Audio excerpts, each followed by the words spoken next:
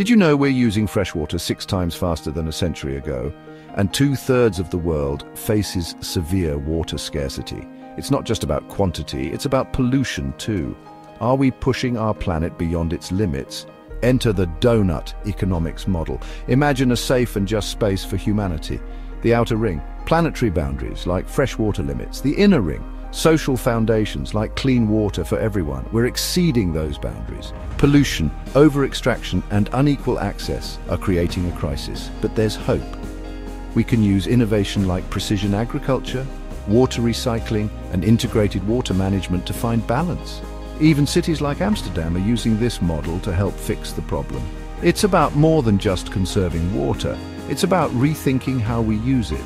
By adopting these new ways of thinking, we can ensure a future where both people and the planet thrive. Let's work together to keep our fresh water within the safe and just space of the doughnut. What will you do to help?